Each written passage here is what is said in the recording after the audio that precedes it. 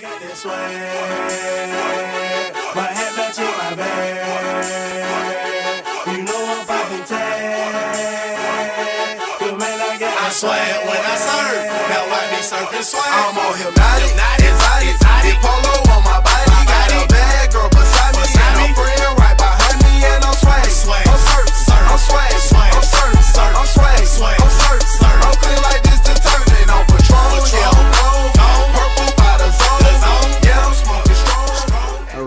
up, guys? It is episode 16 of the Wink Weekly.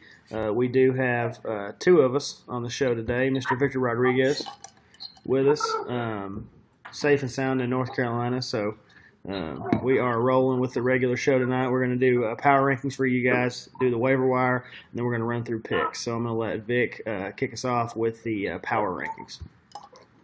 First of all, it's nice, good to see you this week, Joel. Um, so with power rankings, we go ahead and look at. We have a new number one, and I think it's Chris. He's very familiar over the past four years that he's been in the league.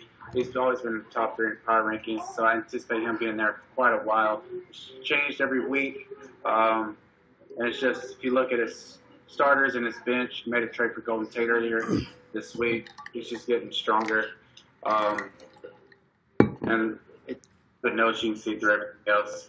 Uh, reason why I had you at number seven at an 0 2 team over some of the, I think it is some of the 1 and 1 teams, just because the schedule. Um, last year, Tiger fell uh, down to it. The year before that, Billy fell to down to it. And the year before that, I fell down to it. Fell down to it. Uh, scoring the most points sometimes um, just doesn't cut it. It's just not your week. Unfortunately, I'm, I'm scared for you. But that is for the power rankings. The most Um, interesting one to me, honestly, is Mike being at six. So Mike being two and zero, um, you he beat Mark last week, but you got Mark at four. Yeah, Mark, he, he's a good team. It's just if I had, if uh, I don't know, Savannah State beats Alabama, Savannah State's not going to jump up number one. I mean, it's just you got to look at. Mike just had a good week, and Mark didn't. He had his second lowest career game uh, that he's had like that he's been in the league. So uh, you got to take that into consideration. Power rankings done the way I do it is by way you manage your roster, waiver wire, and your starting sits and how much points you leave on the bench. So that's I kind of consider Mike. He, he's jumped up there ever since I didn't rank him that one week, um, and we'll get to that once I get to his games. But John is down there at the bottom last week. He was Ainsley, Ainsley's made a nice little jump. I think two spots, but John still with a hundred dollars left on uh, out of his budget. So he's kind of doing the my guys role right here. Um, and I think he's waiting until like at least week four. That's usually where I start making trades, but I've already made one earlier. Um, usually around week four is kind of where you get a feel for your team. Well, waiver wire uh, action. We all know that Mike Green's only got two dollars left, um, but we've still got some pretty heavy, heavy money being spent out there this week for Giovani Bernard, and um, there was one more that was pretty heavy. Who was it, B. Rod? It was uh, Adam Jones, Adam thirty dollars. Yes, Adam Jones, thirty dollars. I man, yeah, that's a that's a big Well- one for me. Well, there's a couple of people that I, uh, one of the owners reached out to me and asked me, "Do you think twenty eight dollars would get Gio?" Um, I'll only put fifteen in for him because I don't really need him. But the way my team's going this week, I might need him. But um, if you look at the teams that need a running back, Nick, uh, Springer, Ainsley, uh, Ainsley, Mike, Mark, I believe yourself. Um, I said thirty dollars about the time because it's a fifteen dollar rental. Um, you get an RB two That's what I'm for two weeks. So I mean, I think it's a fair price. Um, what sucks is you just dropped him last week. so that, that's how your season's going for you. Then Adam Jones, uh, I didn't think anybody knew about him because he's been away for two weeks, and they did say he's going to start at the bottom of the depth chart and work his way up. But uh, media's been saying he's talented running back, and eventually he'll be up there at the top. So I put in a low bid for him, embarrassing low bid, and then you got Nick. He didn't get Gio like he wanted, but he did get Buck Allen, who did, who has been producing over the past two weeks, and I think he got him a pretty good deal with twelve dollars. All right. Well, that wraps the waiver uh, waiver report. this week. So we're going to kick off picks first off with uh, Freddie Thrower Jr., Mr. Jaron Brewer against uh, Chris Powell. Chris Powell is two and zero. Um, Jaron is zero and two. So V Rod, give us a little insight here. So Chris, he has played against uh, the least points scored against, while Jaron has the most points scored against. Um, when first uh, this Carson Wentz to get him back for the first time this week, and it's I think it's a pretty much of a layup versus Indiana. What do we He's think about that? We think Carson Wentz is going to be any good this week? I don't. I think they're going to try and like do a lot of bunch dump passes. Might be one or two like down the field, just show Just ease him back into it.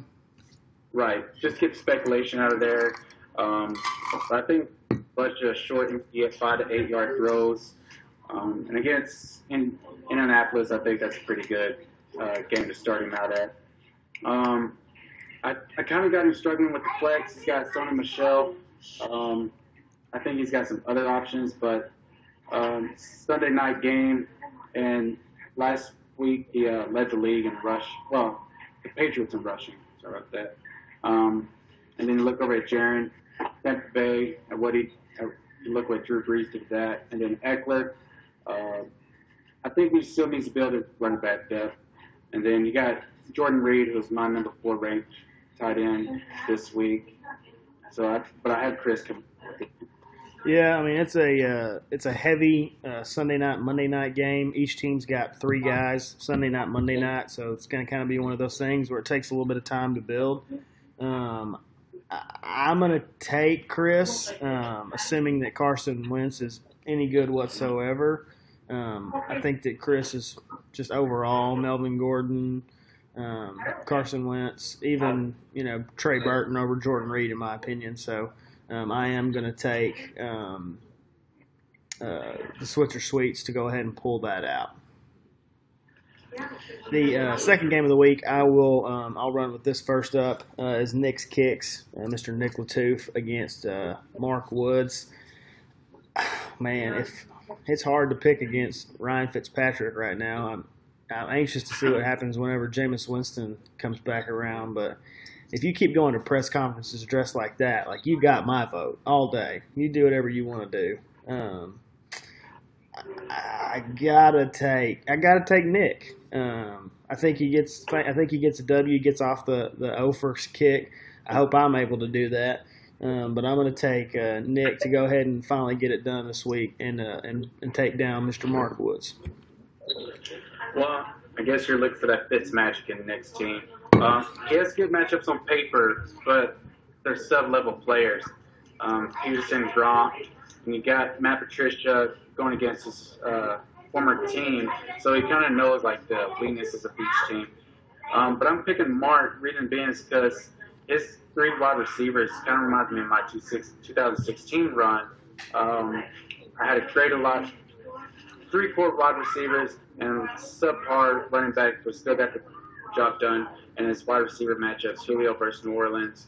Um, speaking of Fitzpatrick, seeing what happened there, and then Brees uh, in Atlanta again. So I believe Mark's going to win this one. It might be close, like you're saying, but I think Mark gets it just because Nick's got to have everyone show up. Man, Why? Mark, he can have. Mark can have his players not play up to their potential still. Julio right now is not even a top 15 fantasy football wide receiver. He's not. He's not doing it right now. I mean, after week one, you thought he was a surefire, but um, they improved their red zone. Yeah, yeah, I'm with you. So the, uh, the third game that we're going to pick for the week is Gas No Breaks, Mr. Mike Green against uh, Ainsley Pick of the Litter, Ainsley Springer, uh, two and zero. Mr. Mike Green against one and one. I told you Ainsley was going to get a win last week. Um, that's the only one I got correct, right? I got one right, and that was it. Well, actually, you didn't pick Ainsley. I thought I did pick Ainsley. No, I went and verified it this morning. Oh, I didn't pick Ainsley. I thought I picked Ainsley last week. Because I remember thinking, okay, the rookie's going to get his first W. Or did I say he? I don't know. I thought he was going to win. No, I didn't think he was going to win. Now that I think about it. I'll check the tape, but I'm pretty sure you went with Jaron. I watched it earlier today. Well, I was wrong about most everything last week, so I'm sure I'm wrong about this too. Uh, so, uh, lot of points. yeah, Mike Green uh, against Ainsley Springer. V Rod, tell me what you got. So, one thing I'm pointing out, Mahomes, Mike has, I fucked up. I dropped Mahomes before the week one. um, That So- is- that's that's a bad move right now. yeah, that, that's been chasing me pretty good.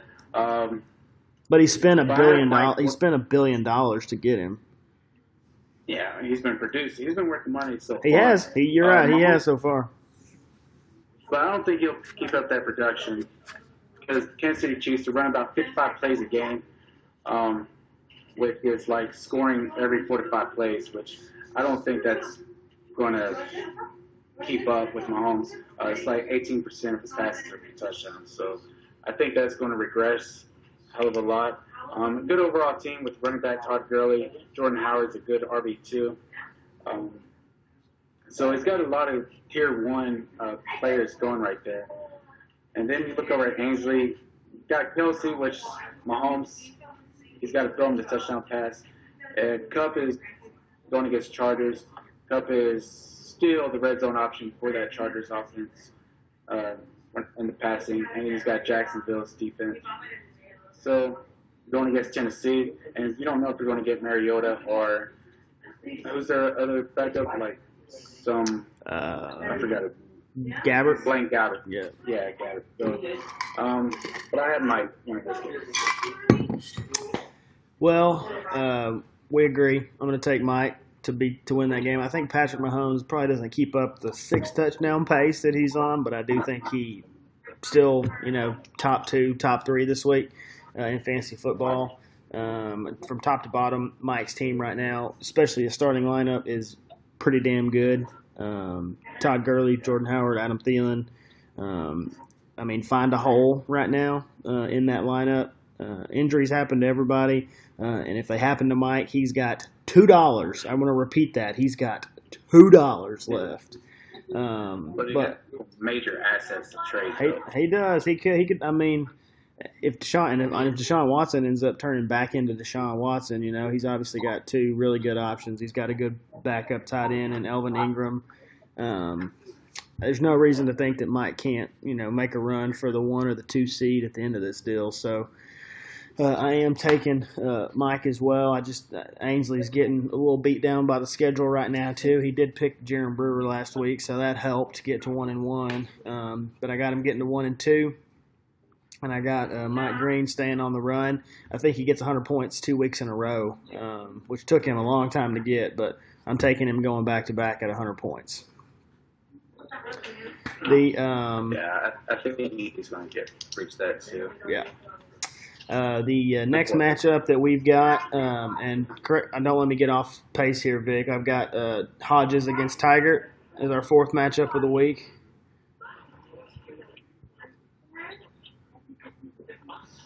Is that what you got?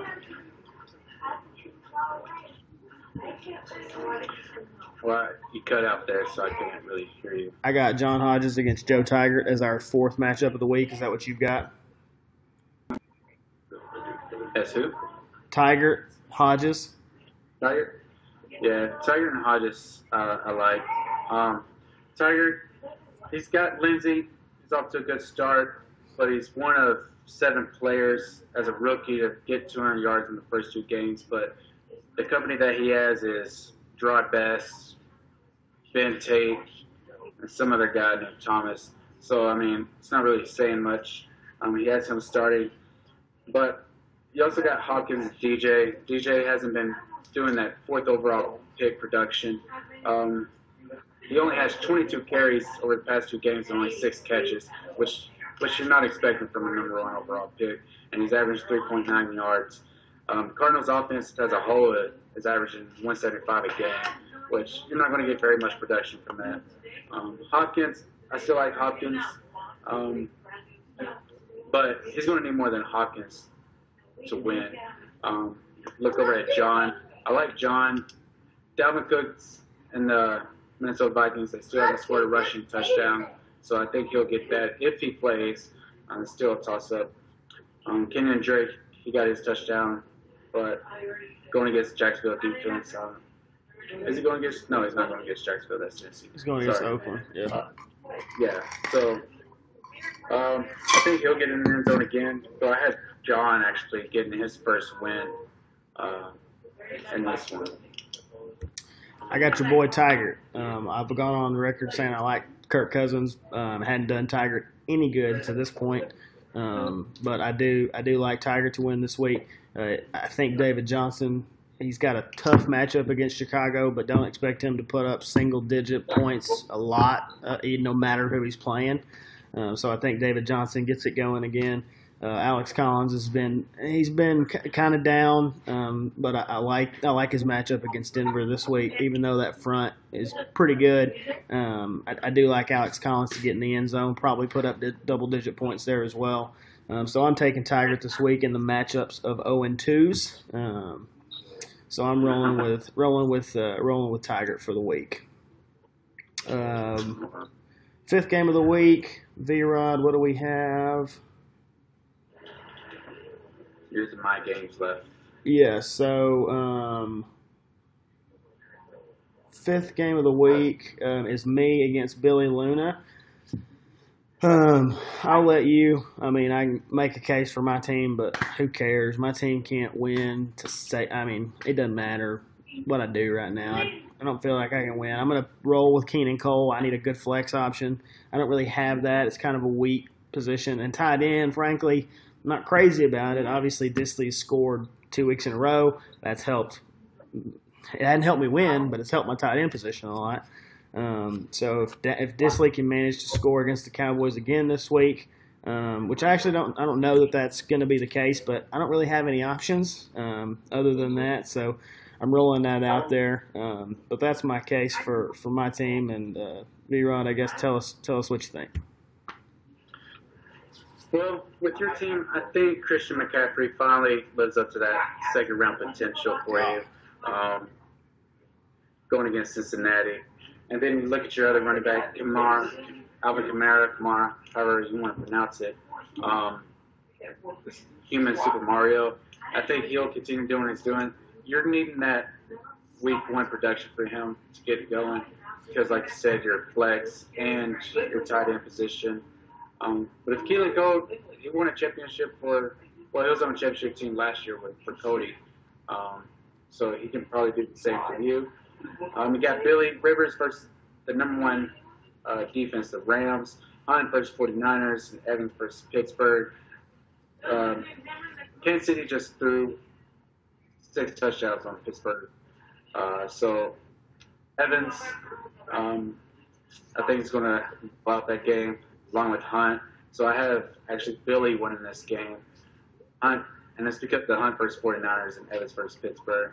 I think I think the edge obviously with Aaron Rodgers on the quarterback position, but that flex position, you're going to need that. For, at least get a touchdown from the teams to win this game.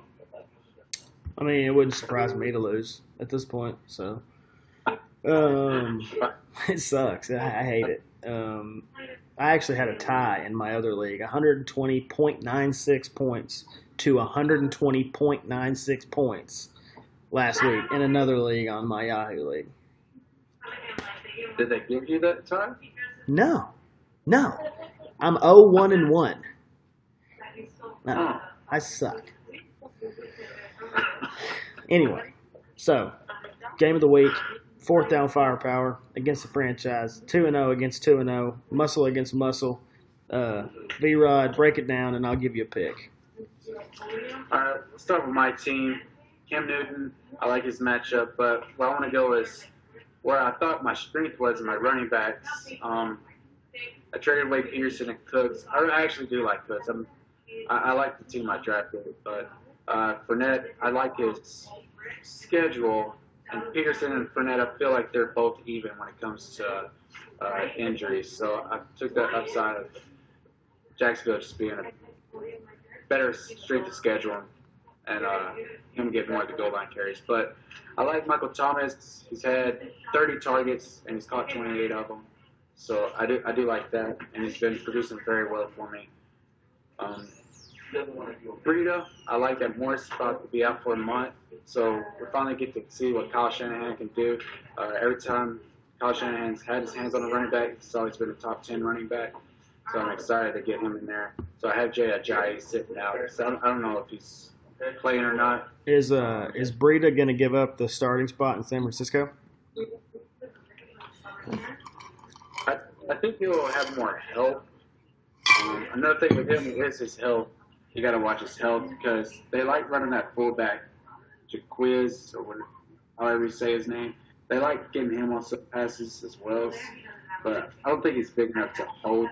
I think his 11 carries a game is what he'll do. But I think in the red zone with passing, that's going to be his MO because you got Garoppolo coming from New England, and they've always preached throw it to your running backs when they're down there. Uh, give what the defense takes, or take what the defense gives you. So uh, that's why I do like a lot. Luckily, I didn't trade away last week. I offered Ainsley uh, for Kupp because I just I just want one of those wide receivers Yeah. for the Rams. But I, Well- I thought I had some Heineken though with AB missing practice, but he's back at practice. He's back. Well, um, really, the only reason that that's to, for me, in my opinion, the only reason that's game of the week is because it's two and zero against two and zero. Um, I hope it's closer than I think it's going to be, but I, I I think Vic probably runs away um, with the W in that game. Um, he needs Zeke and he needs Fournette to not look like Fournette's hurt. I don't I don't think either one of those things happen. I think both of those guys played just fine. Um, if Russ can deliver, it's going to be interesting. Um, but I don't know that Russ gets it done against Dallas. He doesn't really have any time whatsoever to make anything happen back there. He's just, for the most part, he's running for his life. It seems like so. It, it's hard to uh, it's hard to deliver when you're there. Um, Will Fuller, uh, Mari Cooper, uh, Antonio Brown. I would consider that Cody's strength um, of his team. He's his wide receiving wide receiving core. Um, I think that, that that lineup is pretty good. Um, but um, like I said, he's got to have Russ to really be able to make it a game, and I don't know that he's going to get that. So I am rolling with the franchise um, to go ahead and, and pick up the W, three and zero there. So that is all. That's all we've got for tonight. Uh, V Rod, I'll give you the last word. Well, my last word is for you. Go out there. I know your streak schedules are bad, but I need you to beat Billy. He, I need him to get off my ass. Uh, he's 2 0, and we're the only division with 2 0 teams. So if you can take care of Billy, I'll greatly appreciate it. And somebody, somebody I need to start making some trades. Yeah, I'll do my Especially, best to uh, to break break down divisions right now. The North Division, uh, Mike's leading it, but Mark's Mark's gonna be probably hot on his tail all year long. So um, Nick's gonna get a win this week, in my opinion. Um, so that's gonna tie up him and Mark. But uh, uh, in my division, we got two zero and twos. Me and Tiger. Um, everybody's still got an undefeated team um, in their division, leading their division. So we'll see if that trend uh, trend continues for the week or not. Um, it is actually it's sure to fall, I guess, because V Rod and Cody are playing. So one of those division leaders there will be uh, will have a loss um, eventually. And So John yeah, get their first win. yeah, And speaking of that first win, um, there's only been two teams in the past six years that made it to the playoffs. Uh, myself and John. So yourself, Baron, John, Nick. that have made it that have John, made it to the playoffs from zero and two or from zero and three. Oh and three. Okay. Yeah. Oh and two is it's really not that bad get a win. But oh and three is really hard to climb out of because you're competing with division and then that two wild card spots. Um, so you know the only five. So one, two, three, four of y'all can go oh and two. And I think your hopes are pretty much demolished. Not demolished. You got a chance. Yeah. It's a long season. right now it feels like that divide between like two and O's and O and twos. There's a big gap uh, of teams right now that needs to be filled really to make it interesting or make it a race down the stretch. Um, so I guess we'll wait and see what happens. Yeah, so week four is kind of where I can tell who's going to which where. I, the way I, I got it saved in my little charts, the library, as you'll say. That's right, Um, librarian. Um, Yeah, it gives me the telltale, and it's always Tiger's the only one that's ever led the league and not make the playoffs, and whoever's been the bottom tier in scoring has never made the playoffs except for like one or two teams, and they squeeze in with like a seven and six, and that's just because they had a one over someone else, just like me last year at the Tiger. All right. All right. Well, So keep your up. thank you guys for listening. Thanks for watching. Um, best of luck to everybody, unless your name this week is Billy Luna. Um, so everybody else can go to hell uh, for all I care. But good luck. Um, it's going to be fun. It's been fun so far. Um, the league's not anything without everybody that's in it. So thank you guys for being here and being involved. Um, and good to see you, Vic. Glad that everything is, is going okay right now. Appreciate it. If you want to be on the show, just let myself and Tull know. We'll gladly have y'all on. Get your opinion. Tell us why your team should be ranked number one. Yep, absolutely. You boys have a good night.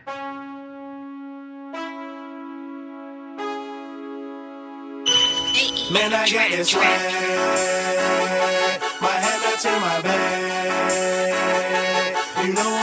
But man, I got this way. Man, I got this swag.